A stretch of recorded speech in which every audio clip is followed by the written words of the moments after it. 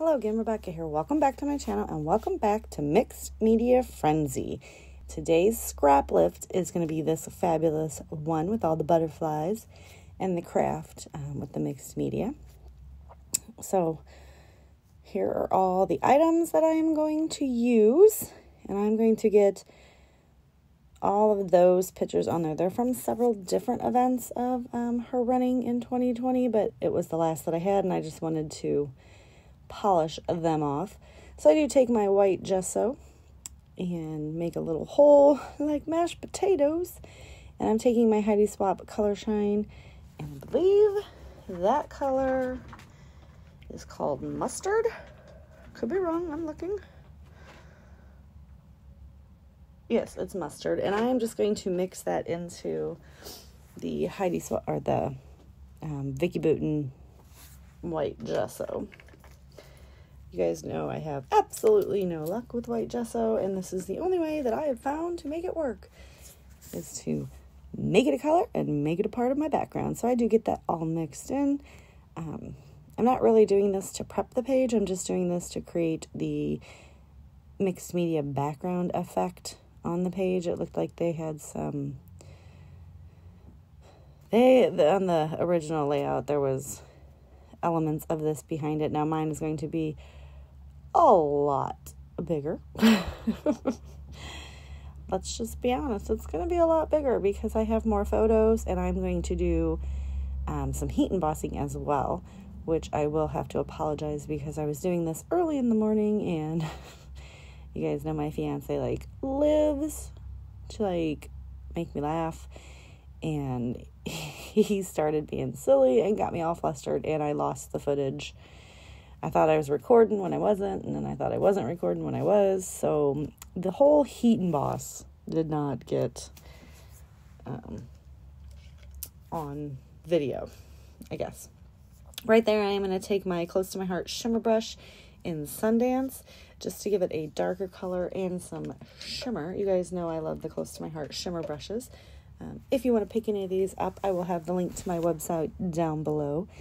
They last a very long time. They are beautiful shimmer and they are very, very reasonably priced. And if you want to pick some up and help support my channel, I would appreciate it. If not, totally understand. If you already have a close to my heart representative, go ahead and pick it up from them though. So I do set that to the side and let it dry. I am going to go ahead and pull out this old Project Life Stampin' Up stamp set because I want the sketchy circles and I'm just kind of seeing how, how, how and where I'm thinking about putting my pictures. Um, I do use those little um, makeshift index cards to label my project trays. If you see right there, my Stays On ink was very dry. It didn't even come off on my finger. So I do leave this in because this I'm showing you guys re-inking my ink pad and I do get it very juicy.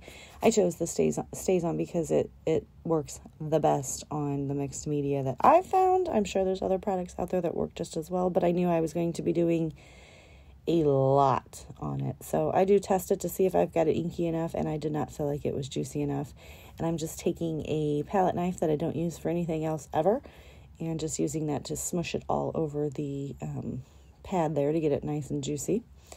And then I do break out and see, oh, it's very, very juicy now. Yay. I'm going to go ahead and wipe that off just a little bit. It does stain, but I do have what we call stays on cleaner. I picked it up at Stampin' Up. I'm sure you can pick it up other places. And it's probably 10 years old and works like a champ. So I do use that on my stamps as well, just so you guys know. So I'm going to go ahead and re-ink that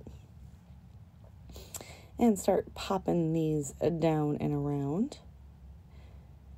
And while I am doing that and getting a couple of these on the page, I do want to remind you today is a hop and getting a drink of my coffee. Do not forget to check out the description box down below to see all my lovely crafty friends that participate every week in the Mixed Media Frenzy. And at the end of every month, we do have a hop where we invite everyone to play along and we give a sketch or a layout that is everyone can scrap lift and see what they create and it'll all be listed in the Facebook group so I will have that link down below as well. I do go ahead and use the Stays On cleaner to get the ink off and then I just take um, some water and rinse the cleaner off the stamp.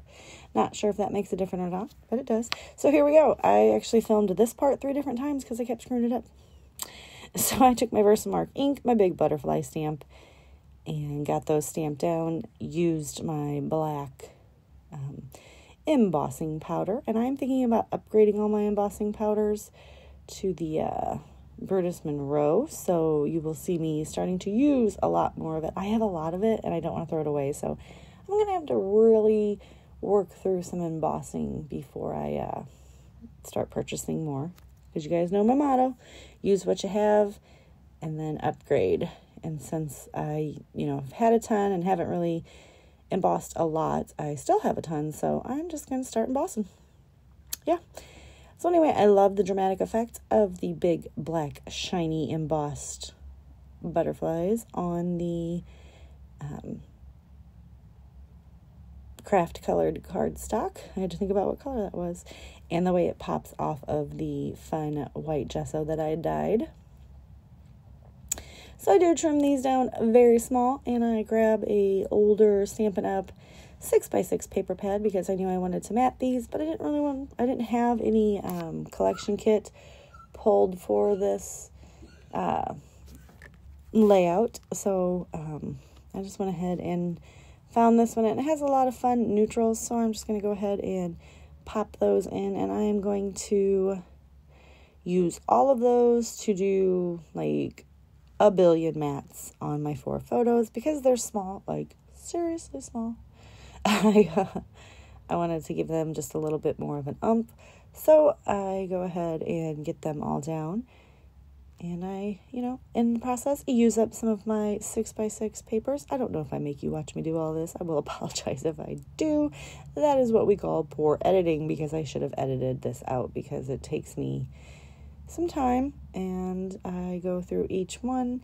And the only, the first one's the only one that I am able to get all four photos matted out of, and then I have to go on to using two sheets. I do save the bigger scraps though. Um, the smaller ones though, they just go in my recycling bin. I do not pull my six by six paper pads hardly at all, so I don't want to save the scraps because I know that I won't. Just be honest. And they're scraps, so they don't really go in the recycling bin. And you'll see right here, I'm going to see Oh, no, I'm sorry. I do get what I get it right out of this one, but this is the last one. So I lied to you guys. I do apologize. I don't like being a liar, so I am very sorry. I am just using my scissors to roughly trim those up. It's mixed media, so it's supposed to be messy. Uh, also, I did not um, use my cool little powder bag, anti-static bag, before I laid the embossing powder down. So there was some little bits and bobs that made it onto the page, but I'm okay with that because mixed media is messy and this is um, supposed to be a grungy one, which I love the look of. That is so fabulous. I finally get those all down there and I don't make you watch me do all that. I decide that it needs to be matted in orange um, because that is her school colors or orange and black. So I thought, why not? I do just take a quarter of an inch off each side because I don't. I want to keep the elements centered. Um, now you will see something. I pulled out this orangey um, 12 by 12 cardstock and I put it on there. And I'm like, something's wrong. And then I realized, like, I stop and I look and I'm like, let me count this. Uh, yeah, it's been cut, so it's not a full sheet. And it was in my full sheet, so I have no idea what I did there, you guys. So I go back over to my cardstock and I grab another piece and I'm like, I don't know. And I'm going to go ahead and get that stuck down. Um, this is my tried and true method. I go ahead and center it up and then hold it down with my forearm and get the one side down and then I'm able to do the rest and keep it centered on the page. And then I just flip it over and make sure it is adhered nicely to the page. I'm going to take my washi and stick these two photos together so that I can move them as a cohesive unit. And I'm going to do the same thing to this one, holding them in a nice little area that I like and I keep looking at it and I'm to do the same thing. Stick a little bit of washi, realizing I don't need to use a whole bunch. And then I'm going to get it centered, get it where I like it. I'm to flip the whole thing over and put another thing of washi right there. Um, I do use a little bit more there because it's it's pretty thick, you guys. It's very heavy. Um, the ATG for some reason does not want to stick on that washi, but it's from Studio Calico, and it's it's like thick. It's like some good washi tape. Uh, I just don't use that washi tape for anything, but you know what you would use normal tape for. I got so much of it. I need to use like some fun stacked washi layout, but you know, I do pull out my fabric flowers. Um, those are from oh, um, the place where you get the brads, Eyelet Outlet. and they were at the craft show, and I picked up all their colors because they had a huge sale. And I'm going to put three colors, three little clusters with the flowers in orange. Um, because those are her school colors and she has on orange and black uniforms while she's running track. Not real sure why she's got orange in the top and black in the bottom. I don't know if that's varsity and JV. She was a freshman and she ran for varsity and competed in the um uh you know whatever they had the state finals or whatever. Um, so I usually just hold them onto my brad setter. my little pokey tool. stab myself like three times, you guys. It was horrible and pop them down where I want them. So I just get them all layered up in there nicely, and I just use that to put it where I want it, stick my brad through, bend it over, bend it over, stick it through, and then push those prongs down, and then I will flip it over and go ahead and use the washi tape to adhere the brad backs, the tines, because I don't want them to snag or scratch or rip another photo. It can happen. So we just use a little bit of washi again just to secure that that doesn't happen. And my layout is coming nicely to an end. I'm going to stick some wood veneer in here. Um, this is going to be part of my title. I am, I'm also going to have three wooden elements, and I had two and I couldn't find a third, so I went with the nine because she is in ninth grade. Take my fun thickers, they are the, the, the light, and I'm just going to do a TH. And at first I was going to leave it, and then I was like, oh no, that did not like that, so we are going to write grade to fill in that area. Um, had I put it on the other side, which I did think about moving it, but I'd already used my Magesso. I'd already used my um, my liquid glue, and it would have torn the paper. So we're just gonna make the title right up there. Ninth grade. And that is going to be it. Oh no, for the title. It's gonna be it for the title. That's what I meant to say. I got this uh, compass wood veneer piece, and I thought, you know, she's running, so she should always be running in the right direction, right? Da da da. I'm going to go ahead and stick that on that flower crest cluster and finish off the title with ninth grade dream. Now, obviously, I don't have the wood veneer broken up into the three different areas, but I'm totally fine with that. I'm going to take my clear Wink of Stella. I don't know if this sucker is dried up or not, um, or I'm just so used to the close to my heart shimmer pens that the Wink of Stella does not do it for me anymore. Um, because I put it on there and yeah, you see, I even pull over a piece of scrap little cardstock, and those are what I put on my project trays, just so that I can keep them sorted out and know what video to go back to because I work on all six at the same time pretty much. I'm not gonna lie to you guys, depending on if things are drying or what's going on. And I just rotate them up to the top. And then when I finish one, they all go up, and the bottom one becomes the new one that goes in. It's a fabulous system so far.